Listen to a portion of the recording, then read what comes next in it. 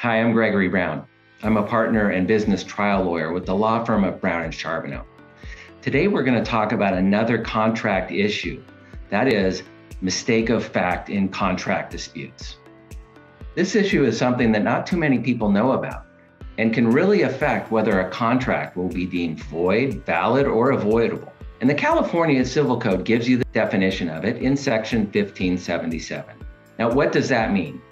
The best way to describe it is to tell you about a case that we just worked on. Our client had a contract with a broker for the sale of a $2 million piece of real estate, but they were also trying to lease it at the same time, so there was a second contract for a listing agreement for the lease of the property. What happened next is the client and the broker had a falling out, and the client wanted to cancel the contract the broker had to agree. So the client told the broker, I want to cancel both the listing for the sale and of the lease of the property.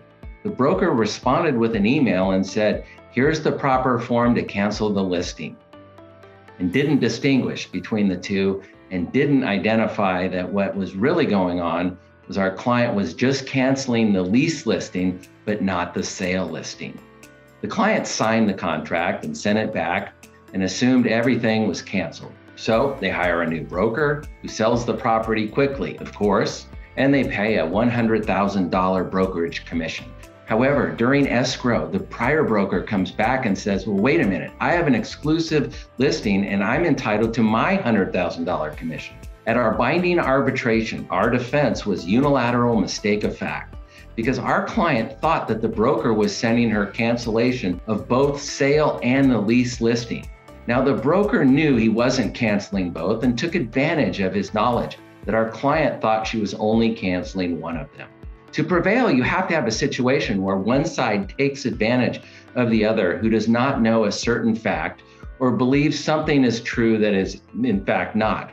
In our case, the client believed that both the sale listing and the lease listing had been canceled.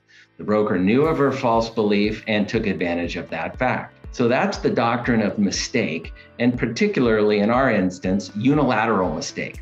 And in our contract series, we'll talk about a few other defenses that are not well known, but can be very potent and powerful in defending breach of contract cases.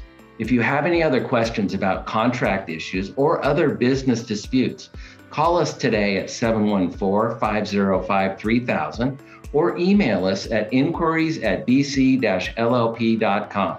Thank you.